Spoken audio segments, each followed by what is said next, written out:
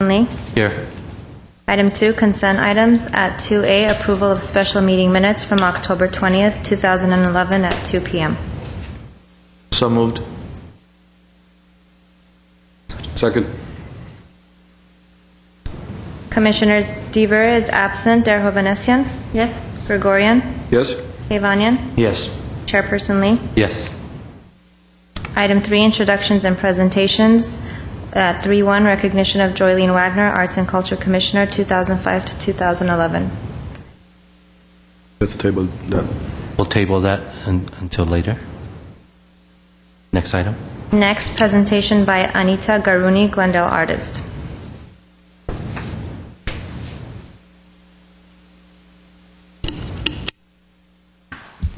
Hello, Commissioners. I'm so honored to be here uh, at the City of Glendale to present myself and my artwork.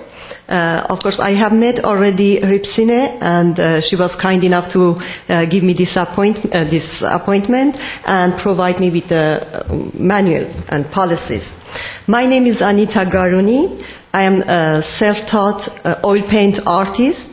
I was born in Iran to a family filled with love and appreciation for art. I've been residing in uh, America for more than over 25 years, of which uh, more than 15 years has been in Glendale. Therefore, I couldn't find any better place than City of Glendale to uh, donate my artwork, which is expression of my deep gratitude for America, my country who accepts all, no matter uh, the race, the color, the religion, or creed, and uh, with an open arm and gives a safe haven to the immigrants of the world and creates great opportunity for growth in all aspects of life. I have been passionate about two things in my life uh, young children and art. Uh, my educational background is in early childhood, and uh, while I work as a preschool teacher, I'm able to produce some art as well. I discovered my gift for painting and uh, drawing at a very early age, and I was painting since then. Uh, in, teen, in my teens, I uh, painted and uh, exhibited and sold my artworks in Tehran, Iran. I provided you with a folder that has the painting in it and I, uh, the explanation, auto, some autobiography, and uh, the explanation for the artwork. Once I married and started my family, I take a break from my uh, painting to focus on caring for my family. Now that children has grown, I return to purs- pursue my lifelong passion. I am California Art Club member and I had ex- exhibitions twice at the Silvana Gallery in Glendale. And Paramount Picture has rented uh, some of my paintings for to represent in their movies. I couldn't rest if I don't pay respect to my race for who I am.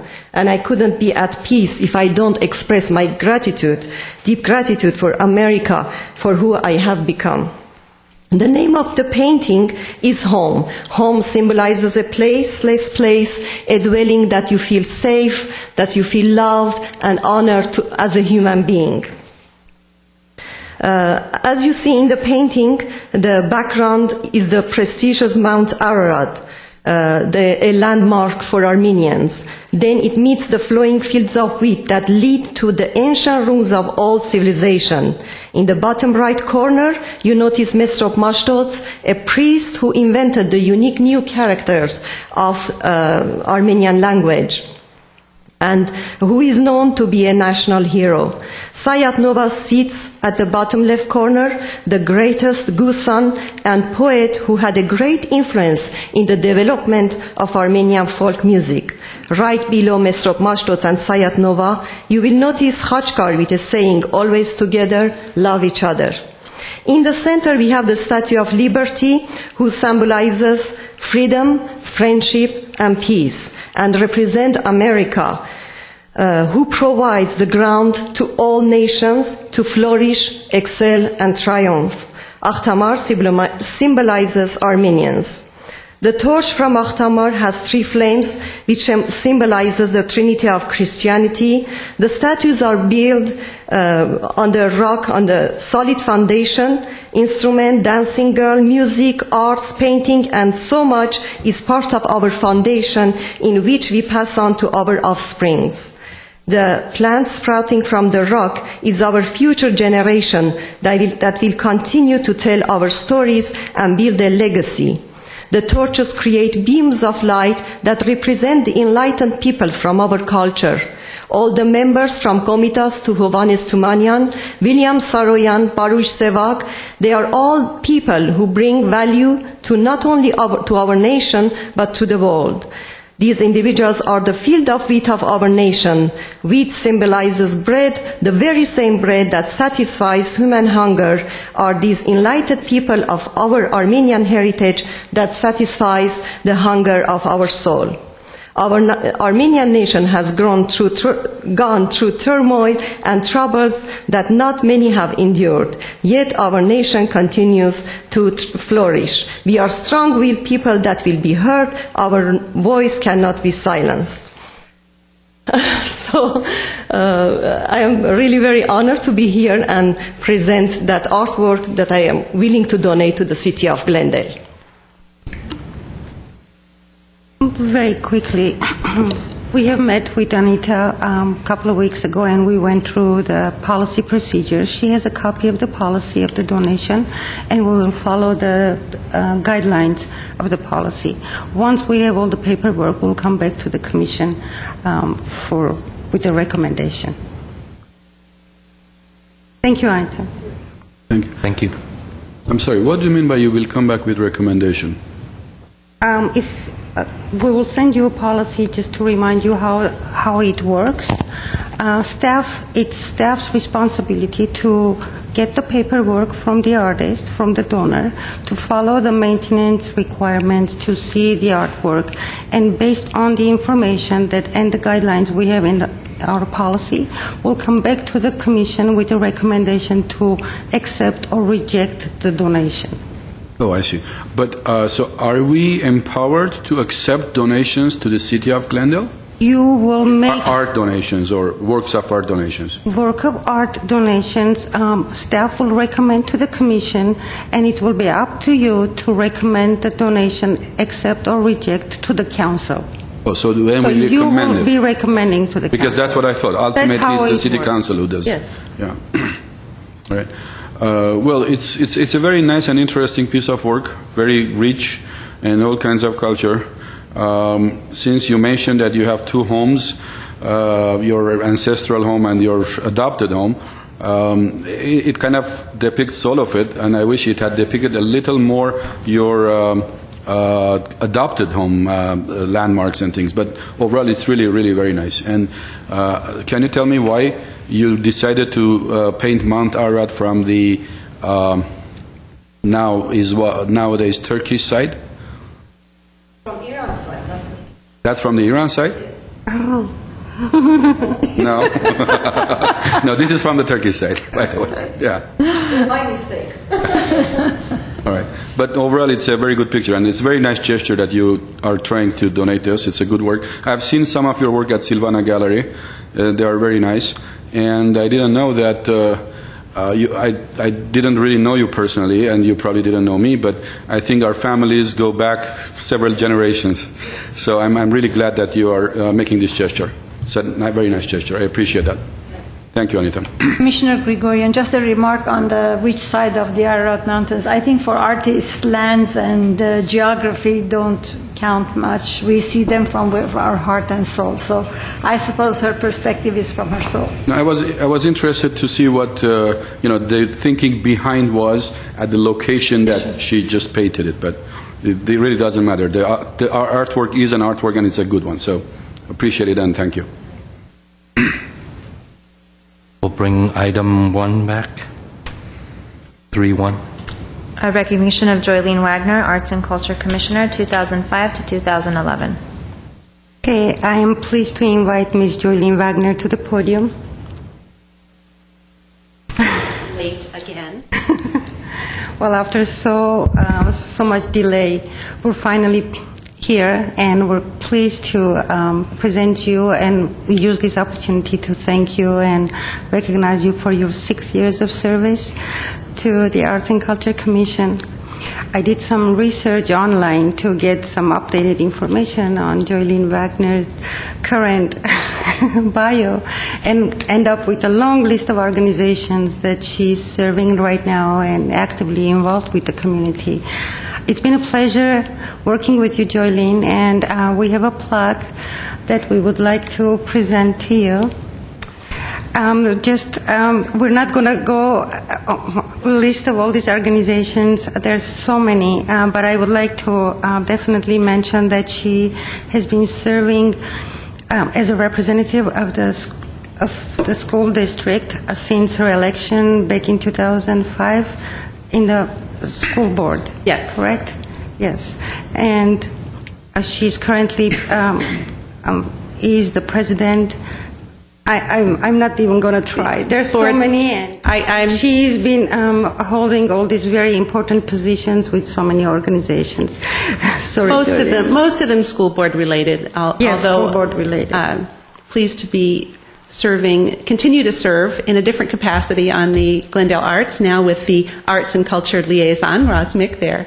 Um, It has been a pleasure. When I first came on the board, um, the, this school district seat was vacant and had been, I'm not sure for how long, but Pam Ellis, um, whose husband has been very, well, who both, she and her husband have been involved very much in the Alex, uh, suggested to me that I might apply for this seat because it would be nice to have a link with the, the district and it would, and it would be right up my alley. And I knew on that job, said, sure, good idea. And, uh, little knowing what all it would mean, but um, overall, I have two wonderful thoughts. One is that um, it has been a pleasure to serve and to help help that linkage between the school district and the city and all of its and all of its efforts. Three thoughts. Um, two, that however many times we've talked about about our role and continue to our being the Arts and Culture Commission, I have certainly seen the extent to which this the commissioners represent uh, true volunteers in the city who whose hope and whose efforts are put to increasing the opportunities for arts in the community. And third, what a pleasure it has been to get to know each of you because we all serve together, all the staff, um, city employees I had a chance to, to work with through the Unity Fest committee in particular and was happy to serve on that again this year. Hope to continue that role because it's just a fun party that day. And, uh, and to, and to begin the affiliation with Glendale Pops. And so I hope you all have your Glendale Pops tickets, your season tickets ideally, but at the very least your tickets for the December 9th concert where we have our youth chorus singing with the, the Pops Orchestra. In fact, I'll be going to set up the chairs to help Maestro Cat and set up for the rehearsal with the kids today. So um, thank you very much. It's, it's been a pleasure, and uh, I'll continue to see you at lots of things. And I, and I suppose that, Stephen, you're the uh, district rep at this point. One way or another, you are a parent in the district, and so you Oh, have that y- connection. Yes and no. I think they're they're supposed to bring that issue back. That it's an option. Well, Not whether it's an requirement, option and whether it's official or not, you're a parent, so True. you can you can help make sure that we get the information if it doesn't come to us, and I think it will. But thank you, and thank you all for serving. Shall I come up there? Uh, meanwhile, we have Dr. Nielsen. You know that. She's in contact with us, Paula Nielsen, and she's kind of the representative of the Glendale uh, Unified School District that works with the commission. Well, we also have now a public information officer, Stephen, Steve Frazier, who is uh, staying very much in touch with, with city and district events and sharing information. So if there's something coming up, let the, let the public information officer know. Yeah. Oh, Thank you.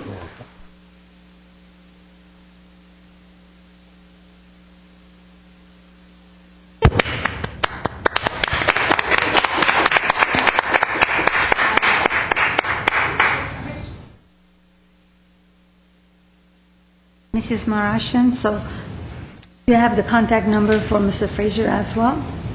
For who? Stephen Frazier, the public info person of the Glendale Unified School District. I can find it. I can find his info. Because we need to be in close contact, so that would be, thank you, Joylene, for providing the information. Next item, please. Next item, oral communications. Discussion is limit- limited to items not on this agenda. Each speaker is allowed five minutes. Commission may question the speaker, but there will be no debate or decision. Staff may refer the matter for investigation and report. First speaker, Chuck Wiki from the Glendale Public Library.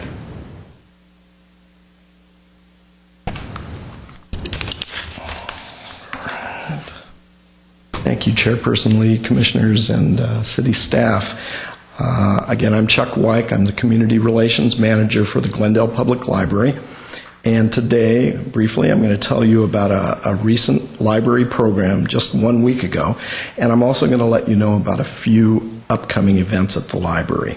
Um, the library is, is working on its fifth One Book, One Glendale citywide reading event.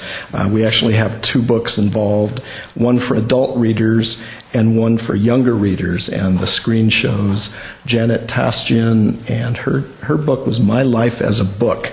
Uh, it, it, she visited the library a week ago on November 10th. Uh, discussed her book to a, a, almost a full auditorium of young readers, and uh, they asked questions from her. They had a good time. They really had a good time. Many of them had the book, a number of them bought the book.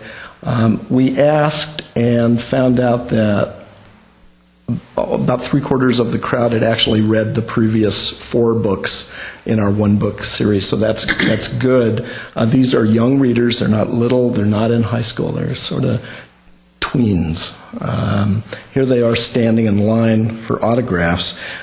Um, Janet's son is 17 years old. His name's Jake, and he provided the illustrations in this book. And this is a book uh, that's the, the author wrote it for a reluctant reader. And really, in her mind, it was a boy, and, and in a lot of ways, it was her son. And so she asked him to illustrate uh, different words in the book. In this case, he did invisible, that was clever, um, investigate, and finally, yoga. So he provided those illustrations. Uh, he's 17 now. He has, I think, a two book illustration deal already going. So he's, he's done really well. Um, and, and the kids enjoyed it. They stuck around and uh, had a good time talking to the author and, and the son who actually drew on stage. Um, tonight, uh, we have Alice LaPlante, and she's going to discuss her book, Turn of Mind. We actually have uh, local author Denise Hamilton who's going to be there and interview her about the book tonight. Uh, Miss Hamilton is also a best selling author. Uh, we just found out last week that Alice won a prize. It's called the Wellcome Trust Award. And if I may, got a little quote from the from Vivienne Parry, the chair of the judging panel. This was in Great Britain. And I quote Technically daring, Turn of Mind tells a gripping story in the voice of someone actually affected with Alzheimer's and emphatically confirms the ability of literature to tell us more about the heart and soul of an illness than any textbook. Hats off to Alice LaPlante for carrying off the prize for her very first novel, particularly against such stiff competition. Uh, so that's tonight, November 17th, at the Central Library, 7 p.m. On Sunday, we have a celebration of, again, a, a, local author. He unfortunately passed away a few years ago. He was a University of Utah professor. Uh, Leonardo Alishan will have uh, video commentary from people who knew him and some other artists. Uh, in December, uh, actual music at the Central Library. Uh, the Topanga Banjo and, and Fiddle Group is going to come. They'll bring a couple of singers. Uh, Saturday, December 17th in the afternoon, they will perform for all ages American folk songs. And it'll be a sing along. So I invite you all to come down, sing along with the uh, Topanga Banjo and Fiddle Group. That's my report.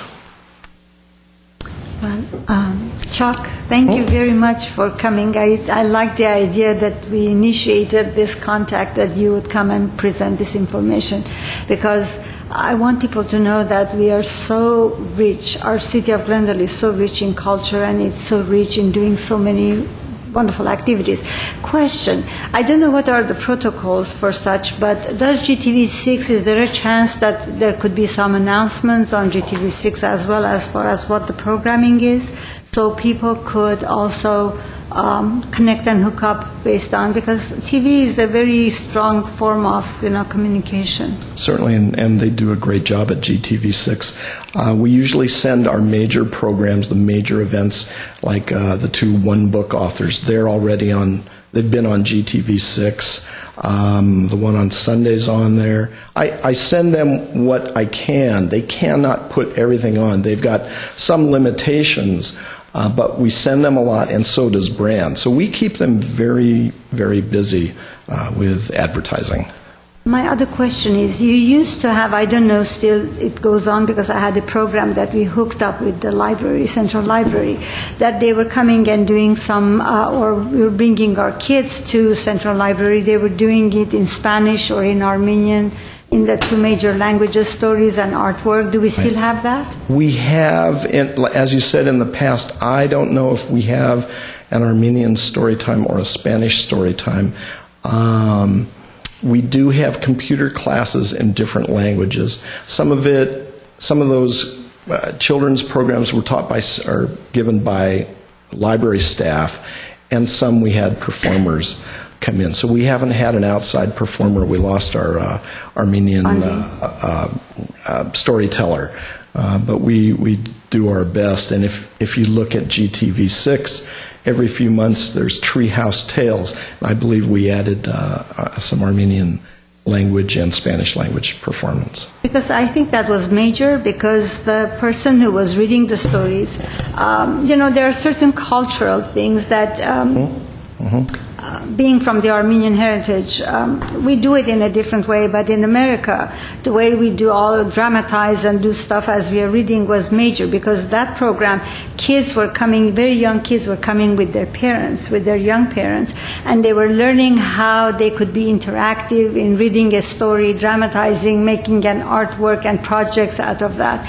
And um, that was very helpful because when later on the kids during the class time, when uh, our teachers do that, they can understand better, and it doesn't seem kind of funny. It seems kind of being part of it.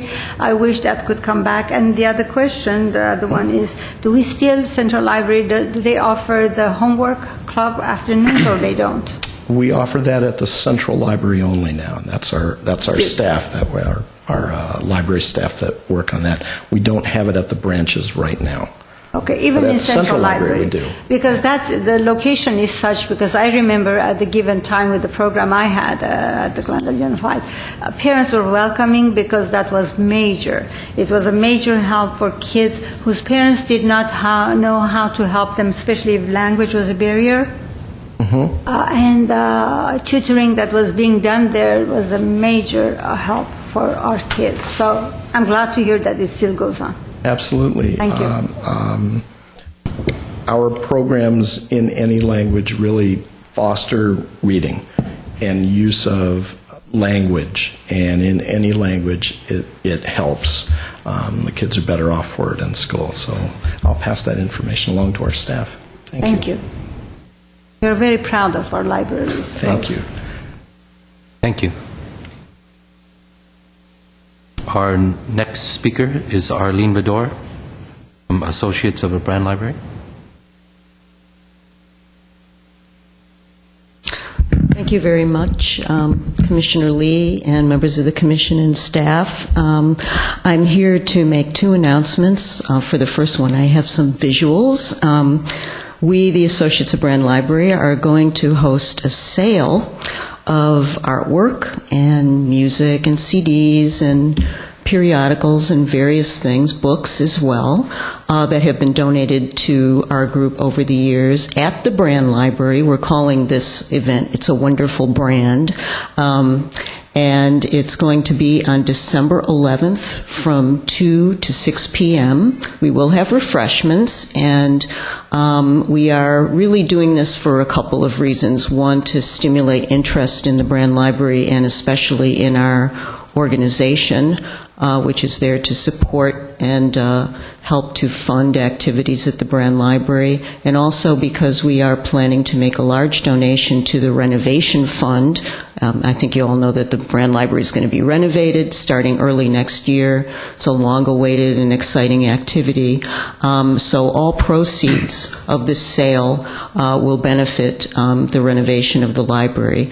Um, we are uh, co-sponsoring this event with the Friends of the Library and the Glendale Historical Society, and uh, as such, we're providing uh, complimentary admission to members of those three groups. So we encourage the public and everybody here to be a member of one of those organizations, or maybe even all three.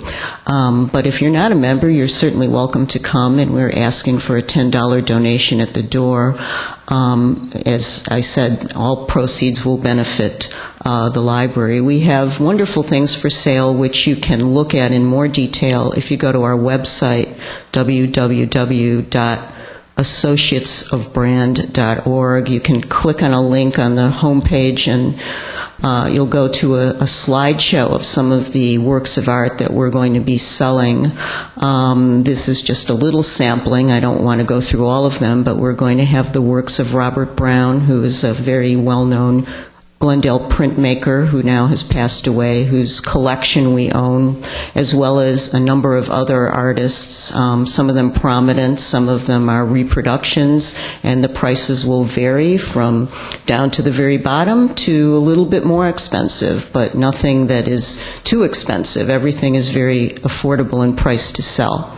So we hope you come and we hope the public will come out for this event on December 11th at 2 o'clock, and we look forward to seeing everybody there.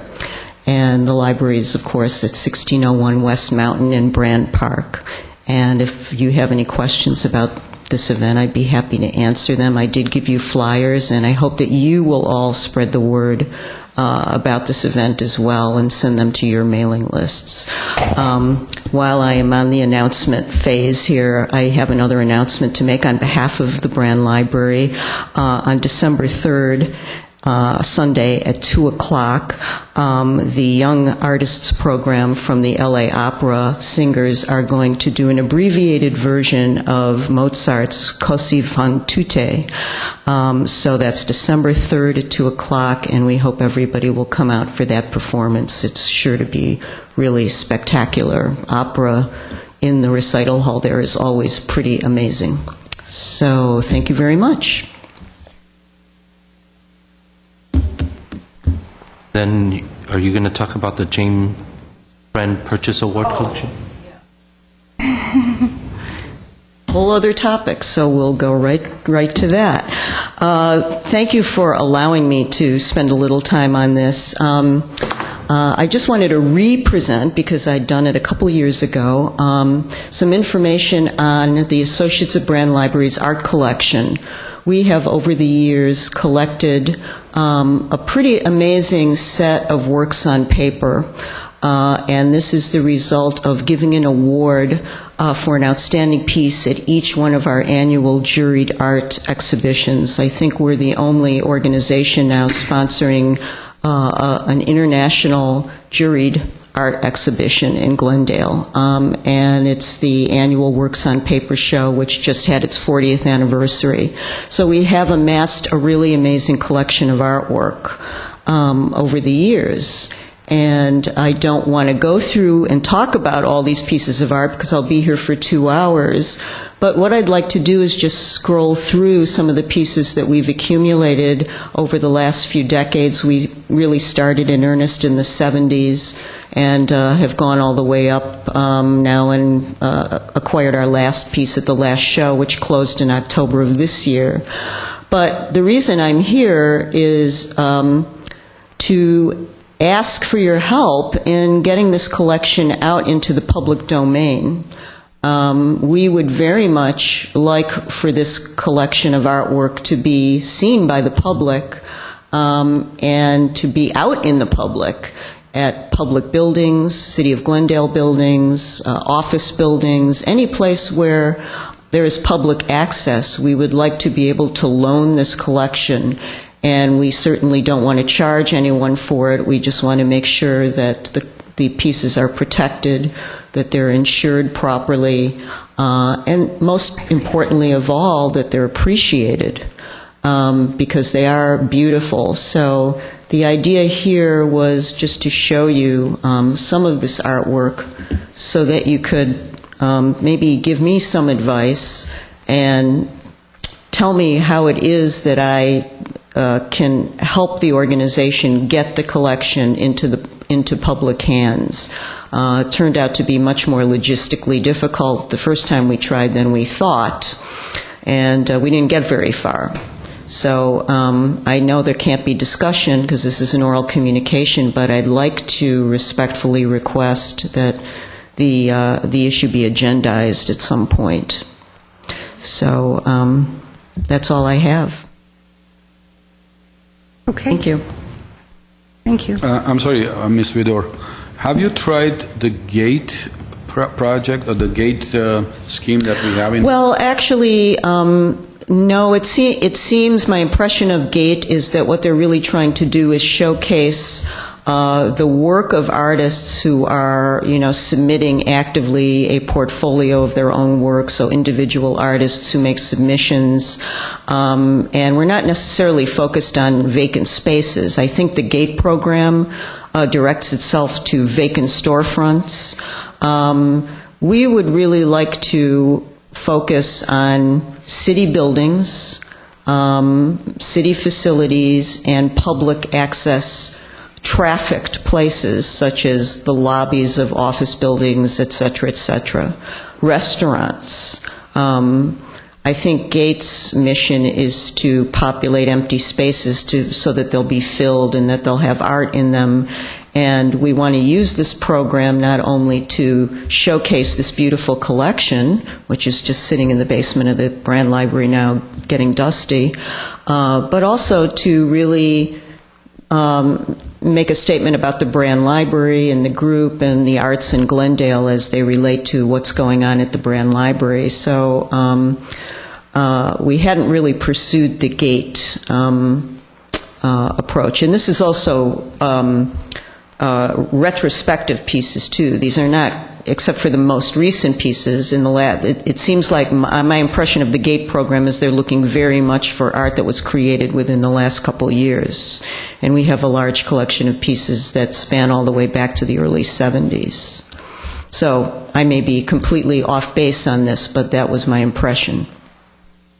It's a great idea. It's just, I don't know what are the legalities. Let's say if we want to have an exhibition at the City Hall in the lobby down there, or let's say Hilton, you know, it has to be somewhere that is a little bit safe also as far as, you know, people that come in and etc. Um, is there a special rule or law that we have to follow to do that? Yes, as you remember, we are still working on our temporary display policies. Okay. Once we have the guidelines and the policies in place, then it will be much easier for us to follow those procedures and consider exhibiting the collection in one of the city's um, um, facilities. Right now, we're working on the parks. Um, facilities and um, for outdoor indoor policies temporary display but um, Eventually, right after that, we will be creating another policy for public places, which will um, give us a, a broader um, opportunity to display temporarily um, exhibitions, such as your your collection. Can I ask a question, or is that too much focus? Then it becomes a discussion. Huh? Let's try to avoid discussion, but there are a couple of issues we need to know before If we need to agendize this, then we'll do that. Mike? Well, I mean, she can ask the question and we'll not respond, but just we would have it in mind as part of the interest of the public. Can we do that? Sure. Right. Um, I, well, the question was, I was wondering what the time frame of the policy was.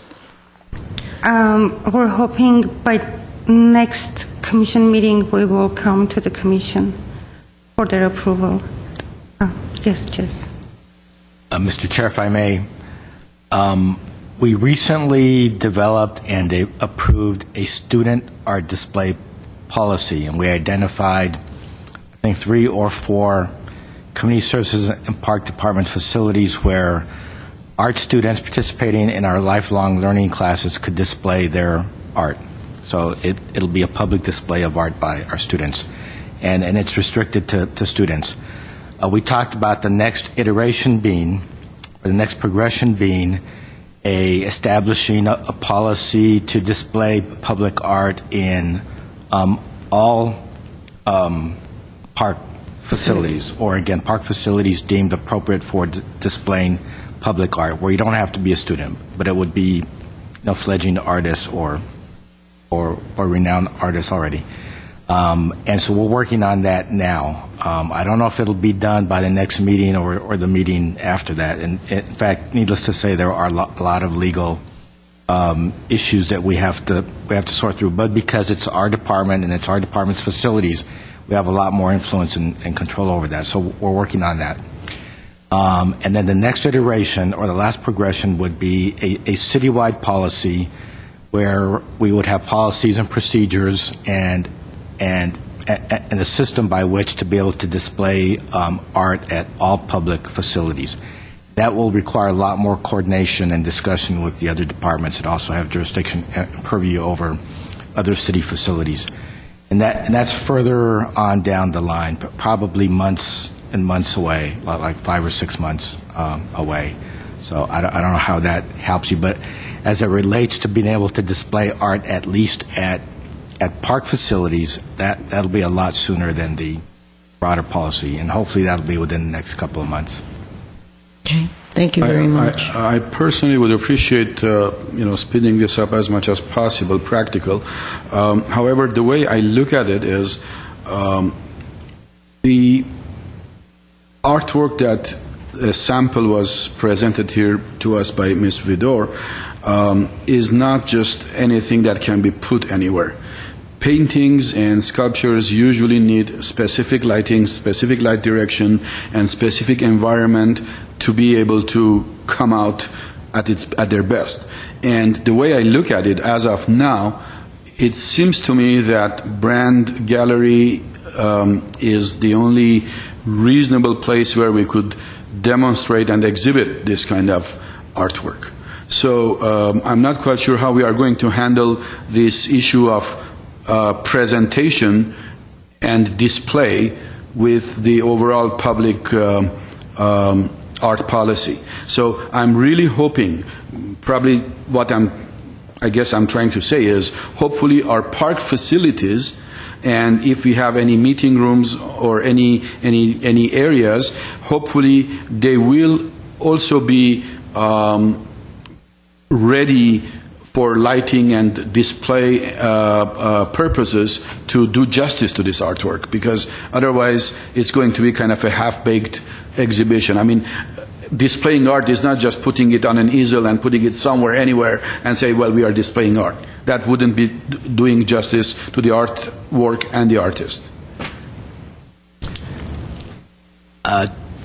Chairman Lee, Commissioner uh, Gregorian, um, that is one of the things that, that will be analyzed, and it is possible that, that many, if not all, of our facilities will not be conducive for all types of art exhibitions or art displays. Uh, Obviously, cost uh, will be a factor. Uh, Our goal would be that whatever policies and procedures that are developed uh, would be at no cost to the city, so if there are costs, it would have to be borne by the, the, uh, the artist displaying the art. And, and you're right, th- there will be a criterion requirements where it still has to be conducive to the, to the art that's being proposed to be displayed.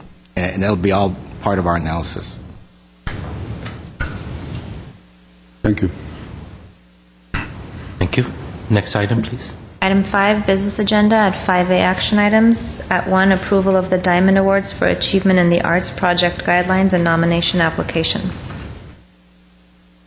Chairperson Lee, Commissioners, at the last commission meeting, you have approved the implementation of the Diamond Awards for Achievement in the Arts and recommended that the award ceremony uh, should be scheduled um, next October, October 2012, during the National Arts and Humanities Month. Um, In order for us to move forward with publicizing this um, uh, project, Diamond Awards, you need to, we request that you approve the guidelines and the nomination form. Once it is um, approved, then we will be printing the hard copies, and it will be sent out to our mailing address. The downloadable version of the guidelines will be available on the city's website as well as on our newly developed Glendale Arts and Culture website. Um, the deadline is scheduled for the nominations to be May to 2012, and the venue and the date for the, the award ceremony will be announced later. As of now, we don't have that information for you. So if you um, have any questions about the guidelines, by the way, we haven't changed the wording since last time. Um, but you are open to um, make any suggestions. I have one suggestion. Yes. Um, under the, uh, the the criteria and, and application process, um, under number one, application materials, and it says submission of artwork. For the performing artists, uh, oftentimes when I'm, you know, like let's say for college applications or what have you, when they ask for some kind of a, you know, video evidence or audio recording, and they say three to five works, they usually specify some kind of approximate time or, or duration of the recording. So I, I think I, I think instead of writing three to five works, I think it'd be more helpful if you gave them a time duration because one work may last half an hour, for example, and you might get you might gain the same kind of information from that one work than you would three to five if mm-hmm. if all those pieces are you know two minutes or something.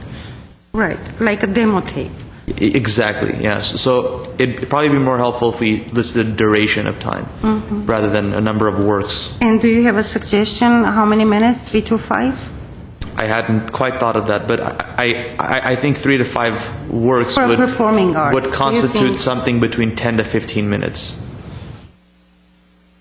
I'm guessing on average. So Okay. I, I think As I a think musician, I thought, think um, 10 to 15 minutes I think is 15 plenty of yeah for for 12 to 18 year olds I think that's plenty. Okay. I, I don't think that's too overbearing. 10 to 15 minutes. Do you have the sa- same suggestion for artists 19 and over? Because it's more or less Oh the right, same yeah. criteria there. Yeah, absolutely. And and that should be a little bit 15 to 30 minutes. Yeah, yeah, exactly. I'm sorry, which one? Number two. Item two, artist 19 and over, same, Right. same Oh, under the for performing the artist. performing? Yeah. So between so between 15 and, and 30 minutes or something like that. So that's for all the performing artists. Right. That's a very good suggestion. Because when you write, you know, three to five works, it, you, the works could be there's 20th century pieces that you could play that each work is 15 seconds or something. So it doesn't give you enough idea. So that's the only reason why. But uh, other than that, I have no no other suggestions. I think it's I think Um, it's I fine. think we, it didn't come up last, last time because we didn't have any performing artist nominated at the last time on the Award. Thank you. I have a couple of questions. Yes. Uh, On the selection process, Mhm. it says um, uh, the cultural affairs section staff will utilize a selection pool from which to choose the selection panel.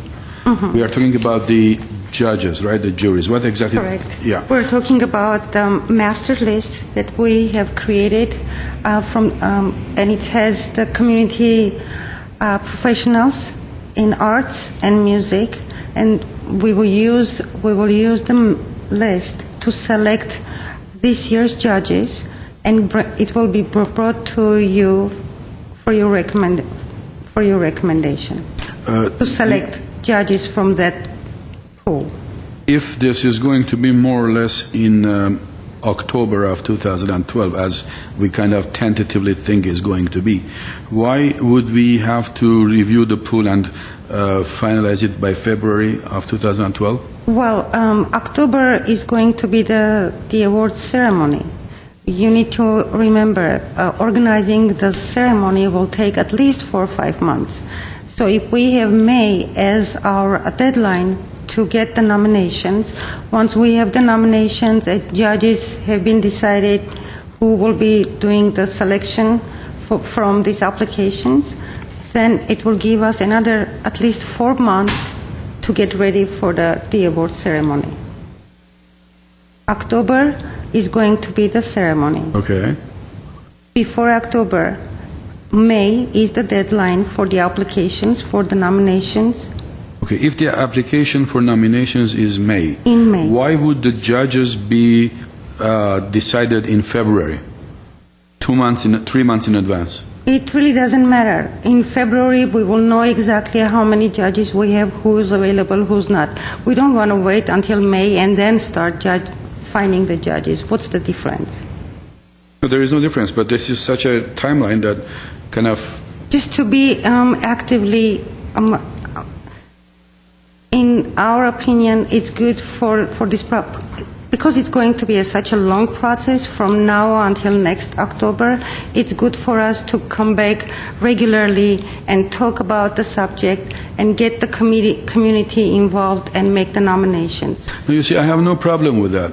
Uh, my point is, we are having a selection, a pool of judges approved before even we know what kind of artwork we are going to get, and we even say that we don't necessarily have to have all the categories with all the, um, you know, different uh, arts. So uh, we might decide on a pool of judges and then end up with not having you know a certain category here to give it. So and you know overlapping i mean I, i'm sure that selection and the judgment and the final decisions can be up to a point overlapping the organization of the main event which is in october sometime so um, i don't know it just kind of doesn't I, make I do sense to me see your point now. Uh, that's a very good suggestion. I thought in February, when we come back to you with the master list of community members to select from,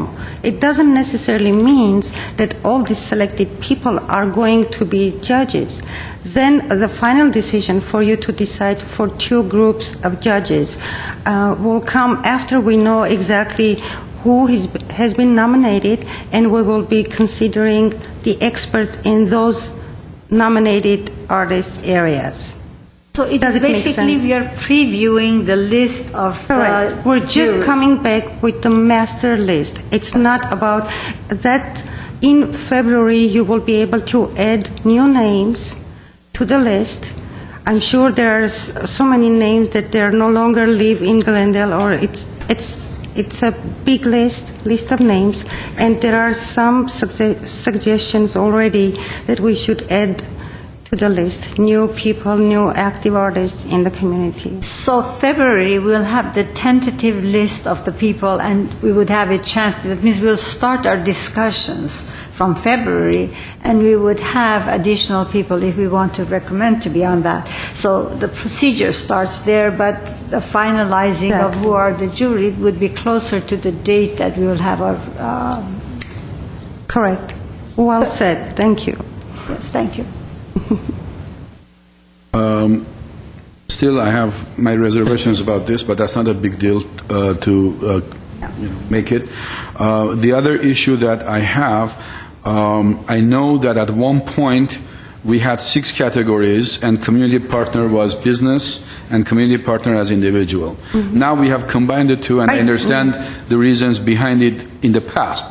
But I want to make sure that we are very clear. The reason we originally did this uh, community partner business and then another category, community partner individual, was, you know, I want to understand the, I want everybody to understand the philosophy and the thinking behind it so that maybe we, we have to separate it again if at all possible.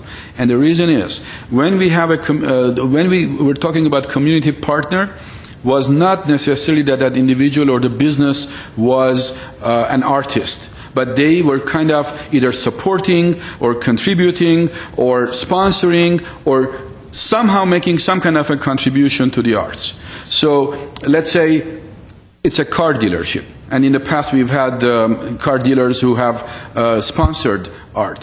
You know, that can be a community partner. And their resources are totally different.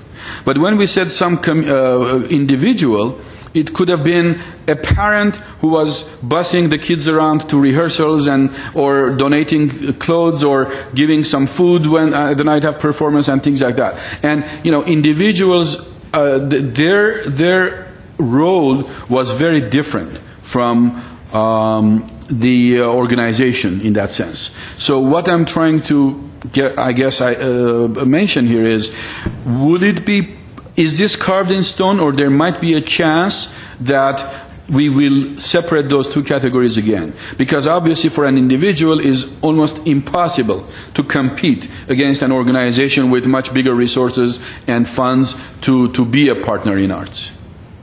It can be separated. However, the reason I um, combined these two categories, last time we didn't have any community partner business nominations, if you remember, Commissioner Gregorian.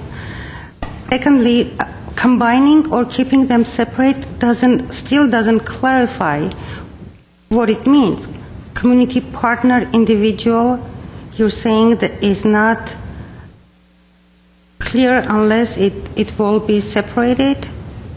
No, I, I'm, I'm sorry, I'm not. Commissioner- uh, Commissioner Lee, if I may inter- interject, I think the problem is um, the potential of receiving a great business partner nomination and a great individual partner nomination and having to choose between the two because the categor- categories combined versus having a great nomination as a business partner and be able to select that um, business and also having a great individual nomination and being able to select that individual so that they both get awards.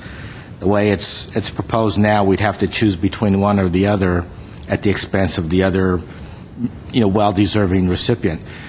So we could, we could take the, the, the opposite tact and, and break out the category, and then if we don't get any nominations in one, there's, there's nothing lost. That's exactly my uh, point, and that's exactly I, what I would like to suggest. And we had this originally in there. And when we don't have uh, enough nominations, we can combine. If not, let's give the individual, the, uh, you know, the credit that it's due, and same with business partners. That's exactly what I had. That's I really exactly- appreciate. Yeah, yes. I appreciate you getting right to the point and understanding the issue Right. clearly.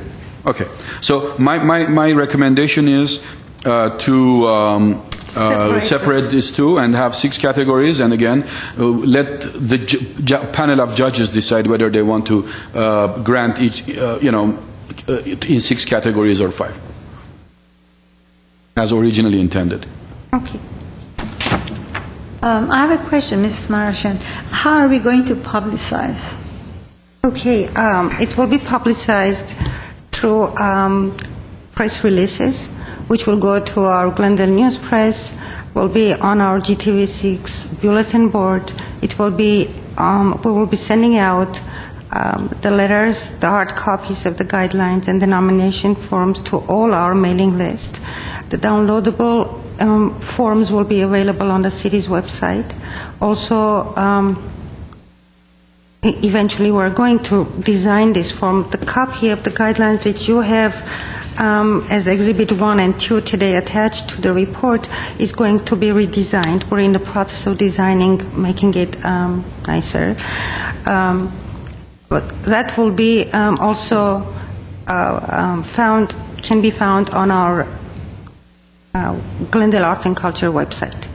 Um, And the e-newsletter, which is going to be published. Um, I have a suggestion, or more, it's a form of a question, which I don't know legally how that fits in.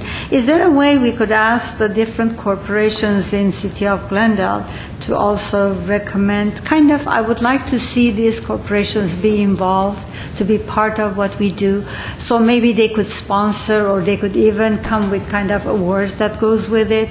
So um, is there a way we could approach or you know process it or pr- procedurize it so different corporations in the city of Glendale could nominate a, a uh, an artist or a group or one of the six categories so somehow we'll get them involved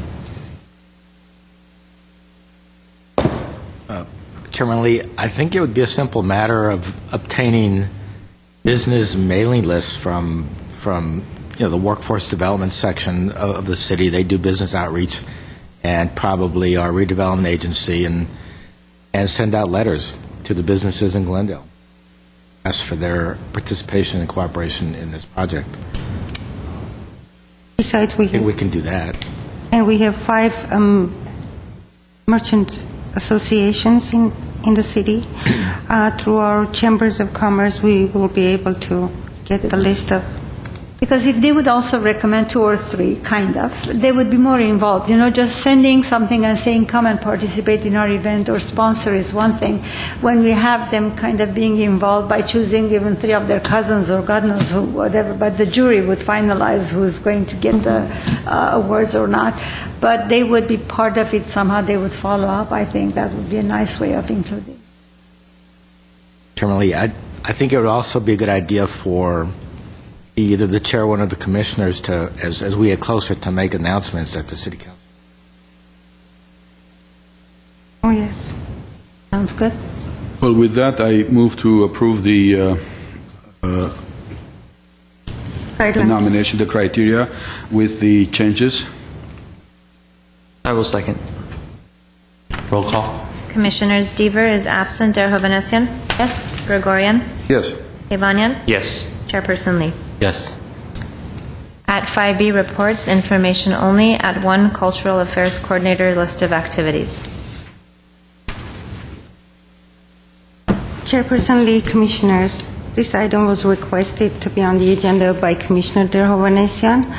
The report is about um, cultural affairs coordinators' activities um, in association with uh, arts and cultural organizations outside of Glendale. Today, um, I would like to talk about some areas of these activities, and uh, one of them, uh, we on and off been coming back to the commission with different announcements, but mainly um, these activities are involved with the, the LA County Arts Commission um, organized events.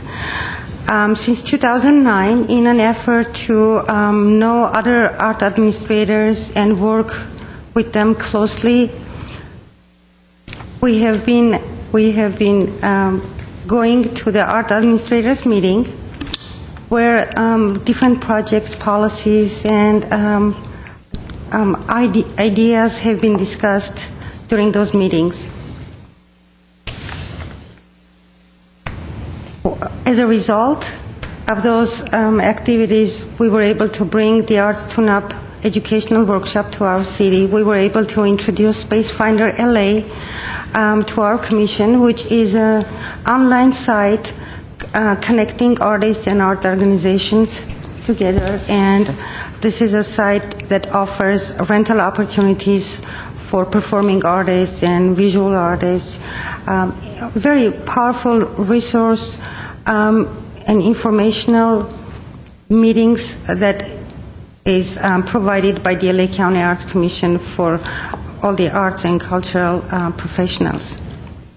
The second area I would like to share with you is the group that I have joined um, a year ago uh, called PACSOCAL, Public Art Coalition of Southern California, which composed which is composed of public art managers, public art professionals, or people who are involved in, in the area of public art.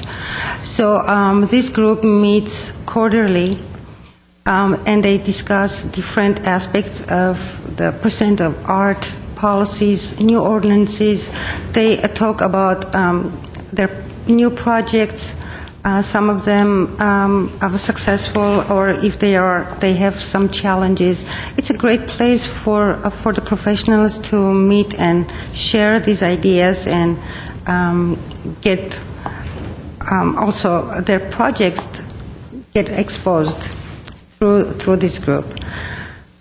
Um, Arts Tune-Up, uh, once again, eh, you are very uh, familiar with this project, has adopted one of the topics um, called licensing for visual artists, and it has been um, recommended, and staff was invited to conduct this workshop throughout the LA County um, cities in um, um, Latin American Art Museum in Laguna Beach, uh, in Long Beach, and we conducted the same thing in Woodland Hills, and also just recently at um, Art Center in Eagle Rock. So uh, basically, this is the compact um, presentation of the activities. Well, I would like to thank you, Mrs. Marashan, for going through, getting all the information together for reporting, because um, it's not only cultural, but it's also very political to be able to be interactive with whatever goes on in most of the progressive communities and city governments of other uh, cities and counties. Because this way, you have mapped city of Glendale in what they do, because you have become kind of like an ambassador of the city of Glendale in the area of art and culture that you go and represent all of us. You represent this community, and you're the right person with your background and information. I'm very glad to say that. So you take us to those communities and you bring in whatever they do, which is very important because we do not want to be kind of uh, stagnated in whatever we are in one little area. Um, and, and it gives kind of more credibility to the Art and Culture Commission of the City of Glendale. So I'm really grateful for your personal enthusiasm because I know that you personally are very eager and enthusiastic into researching to, so, to see and know what goes on all around and to be part of whatever happens in the world around us. So thank you very much. Basically, I wanted this to be on record as well because, you know, this is being taped and I want everybody else who is watching because you would be surprised. Many people watch this program through their uh, website because they don't have the GTV6 but they have their webs and they go all over to see what happens. There, we have some people who are more interested, I think, who don't reside in Glendale and I don't know why, but somehow that's how it works, to see that how much is being done. As a commission, as, as a city government organization, I know we are not an organization, but we are part of the city government, that we provide these prestigious kind of uh, activities for the city of Glendale. Thank you.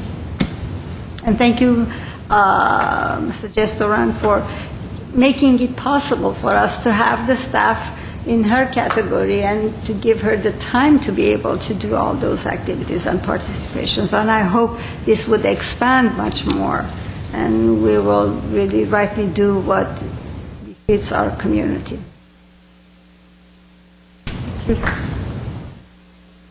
Next item. Cultural Affairs e-newsletter. Well, this item is on the agenda, Commissioners.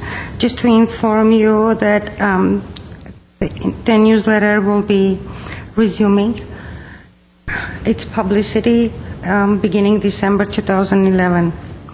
The schedule for the quarterly newsletter and the deadlines for the materials is uh, being included in the report. We just wanted to make sure that um, you will be aware of the deadlines, and we would like to publish the newsletter without any um, delays or any interruption. Um, this year, the format will be slightly different. um, we would like to showcase um, artists or the art organizations in every uh, newsletter. And um, we will encourage you to send us your favorite art organization or the artist that you feel is um, strong enough, has strong enough portfolio that we would like to share with the community. Um, that's all I have about the newsletter. We will be uh, public, publicizing this newsletter through the constant contact, the same email um, marketing organization we worked with last time, and we will be able to um, also receive monthly records of how we're doing. We will be able to know uh, how many uh, readers we had, how many uh, um, times it was forwarded to someone else, so we will be able to analyze um, how it's doing. It will be a measurable um, uh, project for us to know. That concludes my uh, report. I'm very excited that you are resuming this. It's really a good idea. Excellent. And I know it takes a lot of hard work. And I know that some of our commissioners have been, uh, actually, the two absent ones today have been incredibly instrumental in this, and I really appreciate that. Um, I think. Um, you know, this really will enhance uh, not only the composure, but also the exposure to the community. And uh, uh, we will have all kinds of other, you know, additional information in there. Um, the only question that I have to make sure that all the organizations and artists in the community are clear about this and they know that there is no favoritism in, in that sense. Uh, here you say the format will be edited slightly so that we will be showcasing artists and art organizations in our city. Uh, when we are showcasing any artist or any organization, what do we have a criteria to showcase them? And if we do one organization, what if another organization comes and says, "Hey, what about us?" Well, how, how, how are we going to work that out? I don't have all the answers for you, Commissioner Gregorian, but I'm assuming we will be publishing, publicizing this e-newsletter four times a year only, and it will be only one organization s- showcased in each newsletter. So it should be the best of best for, to be um, showcased on our e-newsletter. How do we determine the best of the best? Well, um, I'm sorry, I don't mean to put you on the spot, No, but you know, uh, I'm just trying to avoid any unnecessary uh, hard feelings from some people who may not even understand the process. I agree. So, I I mean, I might have. process for If you ask me, I have m- many, many favorite organizations. Some of them are a little slightly, slightly more favorite because of certain things. But, um, you know, when we have only four newsletters a day, a, a year, and we are showcasing one organization per newsletter, then we are actually, uh, you know, not including hundreds of other people and organizations. Well, uh, you need to um, remember that the newsletter is not a promotional tool for the community artists or art organizations. It is an informational newsletter to connect them, to give them a lot of resources or information. So uh, even if we don't have a um, um, showcased artist or an organization at, at the newsletter, that's okay too. It, So can we somehow make some kind of a uh, so-called gentlemen's or ladies' agreement uh, that an organization or an artist that we showcase, and I'm, I keep on using the word showcase because it is mentioned in here, would have to also be somehow active and influential in the community.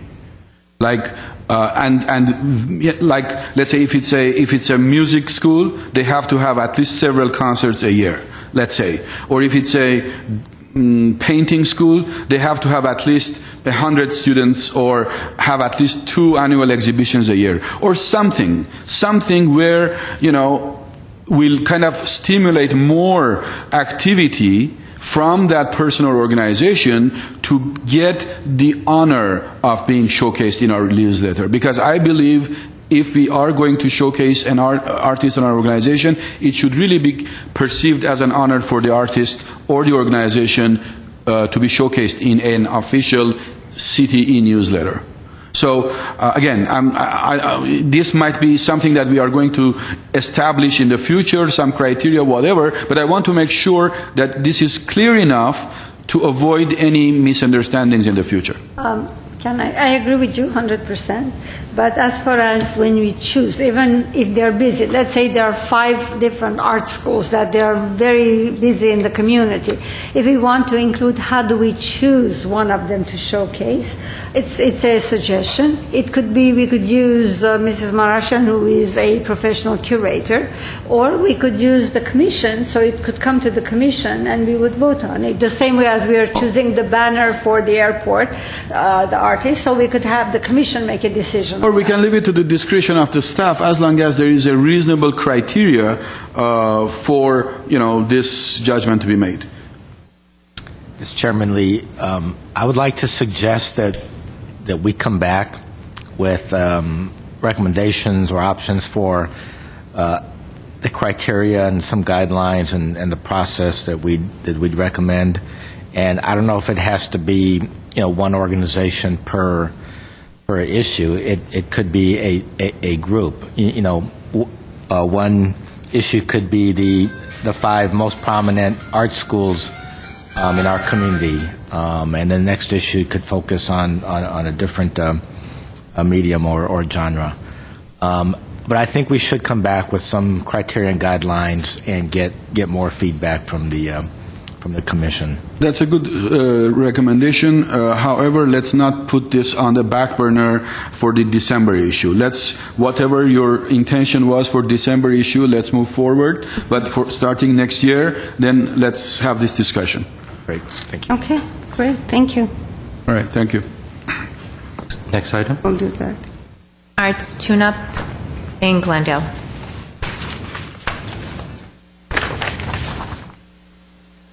Chairperson Lee, Commissioners, this is an informational report to let the Commission know that the Arts Tune-Up will be returning to Glendale next fall. Um, You are already familiar with this workshop, and um, you know that it provides artists with practical information and resources on a variety of arts-related topics such as health insurance for artists, fundraising, marketing, grant writing, um, copyright issues, and of course, uh, licensing for visual artists. Once we know the exact date of the workshop, we'll come back to the commission um, to let you know about the date and the venue for this uh, workshop. Could we announce this on GTV6? Because there are many artists in the community that might be interested with the information. Sure, when the time is right, we will do everything we can. Now, we need to remember that the website is going to be actively working, and we will be using the website as a marketing tool as well. Well, somehow I would like to make sure that we would make the recommendation and later on people would get to the websites to know that they should search for such a thing within the website. Sure. Next item. Item six, commission and staff comments.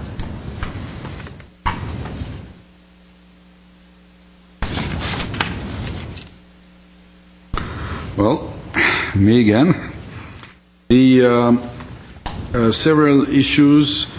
Um, first of all, let me report that uh, I attended the Glendale Arts uh, bi-monthly meeting at the Alex Theater um, on November 8th, just about last week, as the liaison between the um, commission and the uh, uh, the uh, Arts Glendale Arts.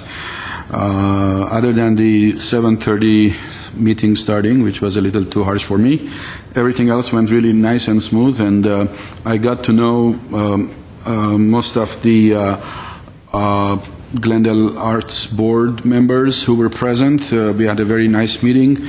Um, and uh, I reported what we are doing in here and uh, our activities and our plans, annual plan, work plan, and etc. cetera, et cetera. Um, and um, they also have a major uh, plan for next year, a lot of uh, good activities. Uh, I'm not going to go in detail into that. Maybe we can invite uh, uh, Mr.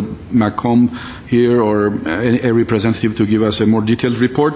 However, the two major things that they are doing, one of them is expansion of the Alex Theater. They are thinking and planning for that. So that's a very exciting thing, and I'm really hoping that it will go well. They have raised some funds, and you know they are. I- I'm not quite sure when exactly they are going to start, but this is in plan. So I'm I'm really very happy uh, about that. And the other issue uh, is that they have organized a um, um, an orchestra, the Pops Orchestra, where they are going to have their first uh, concert.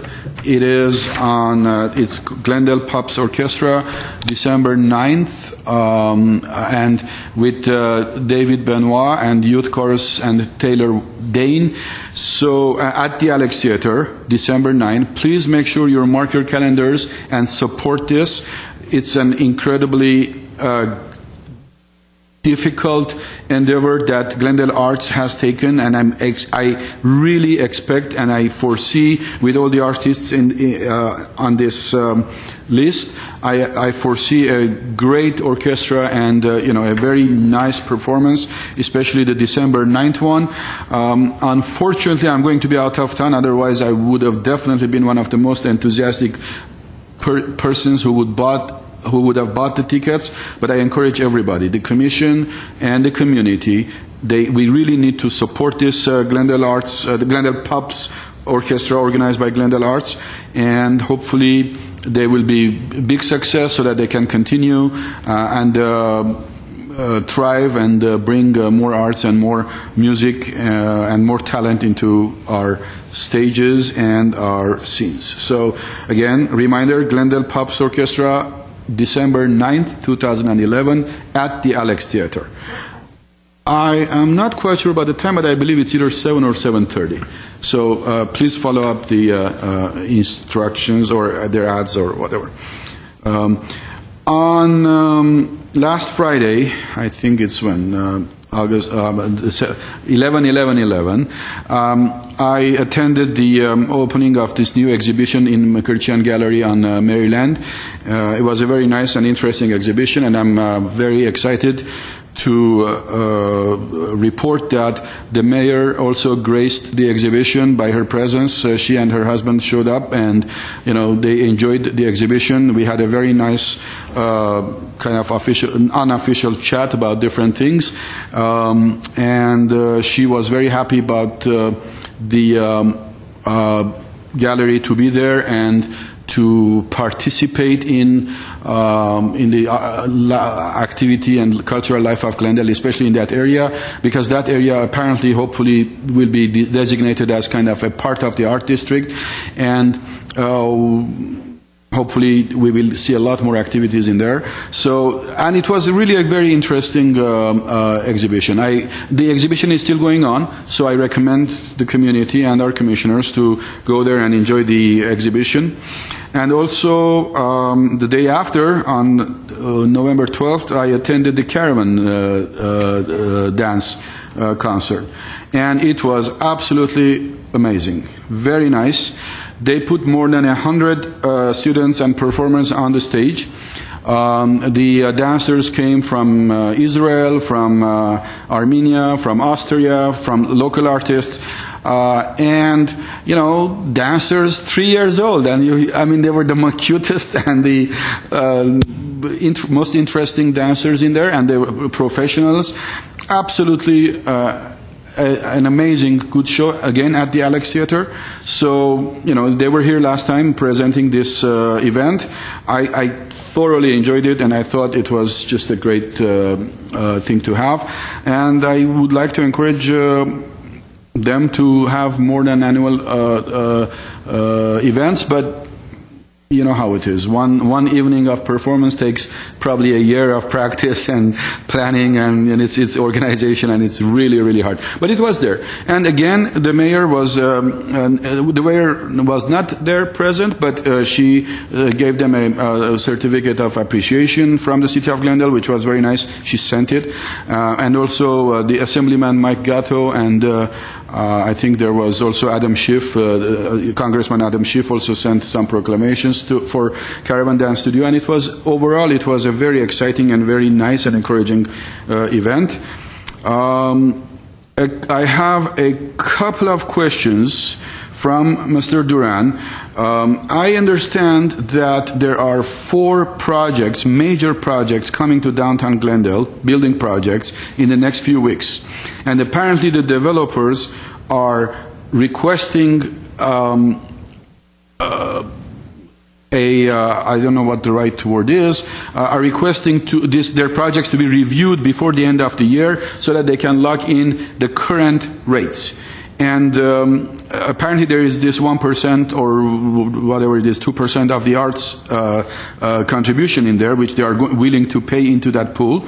So my question is, when and how are we going to determine what is going to happen with this uh, arts uh, contributions from these major uh, projects that are coming in. I expect four major projects to have a reasonable amount of uh, funds to be uh, deposited into this account. So if uh, my question is, when do you expect to be able to know and how we are going to know uh, if we have a, uh, plan or not, and if we don't, when are we going to have a plan for these funds coming in our budget? Uh, Chairman Lee, Commissioner Gregorian, um, we, uh, Ripsmay and I, um, still need to meet with the community development staff and recommend that it's it's time that we begin to develop the implementation policies and procedures and guidelines for the urban art program and the one percent, two percent. Um, I I think everyone would agree that there are uh, questions about exactly how it's to be implemented and who who is qualified and gets to determine um, uh, what um, on, on, on certain matters. Um, so we still we still need to do that, um, and so it'll probably be with, with with the holiday schedules probably the early part of next year, probably in January. But but I think we have time. Um, yeah, those projects are are the goal is for them to to go into plan check uh, uh, by the end of the year in order to to benefit from the, um, the current um, development impact fees, um, and so so there's time. And, and again, I think there's recognition that, that we need to do that, and there's recognition that the Arts and Culture Commission will be um, advisory advisory board part of that process. So my, my request is if we could, I know that your hands are full, and uh, I know that the holiday schedule and the season is coming. Uh, my request is let's please try to speed this up as much as possible, because it seems that in mm, different departments and also up to the highest level in the city, there is not really a clear understanding and perception of what those funds will be used for. And I think that is the key. The sooner we know and find out and uh, have a clear policy, then we can recommend as an advisory board, maybe in a joint meeting with the planning commission, or may, maybe we can even have a uh, subcommittee or ad hoc committee between a couple of representatives from here and the planning commission, and try to hash out something because the projects keep on coming, and we really need to move on this. We cannot really put this on the back burner any longer. I, I believe. Uh, Could I um, well, interject? Um, As far as the planning department, their bylaws, you have a different word, I don't know what you call it, um, when they come up with their, um, and yeah, their bylaws uh, based on what was presented, and I reviewed it very carefully, they have a procedure on how this needs to be done, but it mentions several times that they don't know which organization, would it be the Art and Culture Commission or others that would be the advisory and they have in their protocols of that advisory body should sit with which group of people within their own uh, department. So that part is clear. It just the part that is not clear is what needs to be done with the funds or how the funds would be directed. So I suppose that makes it a little bit easier because the protocol is there. just the money part is going to be decided. But our participation, if we are the advisory body, then that part is clear, I think. How do, what was the word? You, we always use it. Right now it doesn't come to me, which means the same as bylaws. That Rules and protocol? regulations, No, no, no.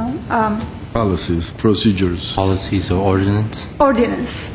In their ordinance, it discusses in detail uh, of the procedurally how this advisory part should be working, but the money part, which most probably is the most important, is not clear yet. There is one other issue I wanted to discuss. Actually, I had this in mind, but today it, it was the best time to bring, again, this is just for us to have a food for thought. Um, when the city has areas or buildings or halls or wherever, um, and when we are renovating, is there any way, or how, what is the process to make sure that that area is kind of prepared for multi-purpose uh, use. And one of the reasons is today we were discussing when Ms. Vidor was here about that um, art collection, and we uh, um, we have several uh, areas and buildings and halls, like in the library, in the central library, uh, that although it's a very nice and huge hall for certain assemblies, but it's not good for, uh, let's say, art exhibitions.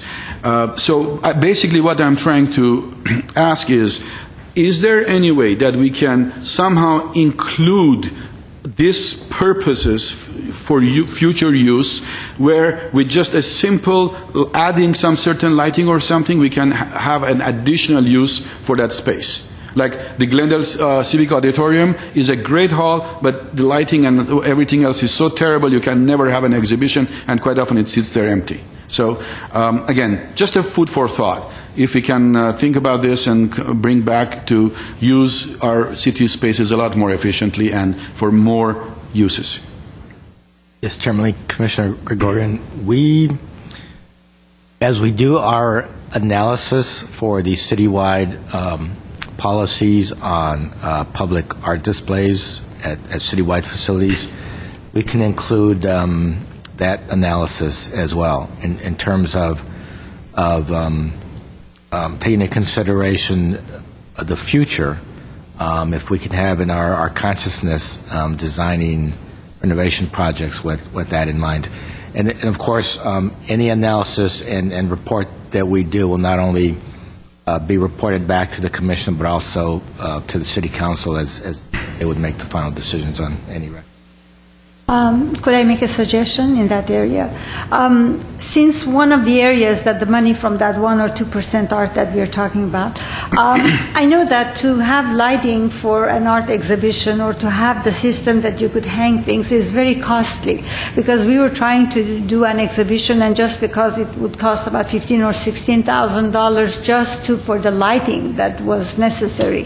So why not to have in mind that in the future, with this kind of money that comes in, as they said, for dual purposes in certain buildings in the city that as far as security and location sounds right, uh, we would make sure that that, that installation would be put in place, so then later on, city either, I don't know, with money or just pro bono or how it works, would let the artists do their exhibitions and maybe the proceeds or whatever would come to the city of Glendale. But that is an area that needs money, and with the budgets right now. I suppose that 1 and 2% could really, really be helpful because I, I know that money could be used in many directions, but I hope the money that comes for that purpose is not going to go for different uses while there's a dire need to make this kind of um, accommodations. And also for a city like City of Glendale with so many artists, we don't have any little even museums or a place that we could have on different bases. We could curate different artwork. So um, I hope that would put, be put in consideration when the money is being discussed because that is what the community and the artists are very interested. Actually, some of them wanted to come and have a big show thing here, and I said, listen, this would look more like a riot. we don't want that. We just want to make sure that I'll bring this to the attention of the uh, people in the city, and then accordingly, you guys would consider that when you do your planning as far as where the money should go, partially. Thank you. Any uh, other remarks? What's that? No, I'm, I'm done. Thank you. Because the date to me is old, but I didn't know what that is. It's a beautiful card. It was in our packet. It was in- on our on our uh, on the dice thing, and it is NLCLA, but the date is uh, September 11th. So I don't know what that is.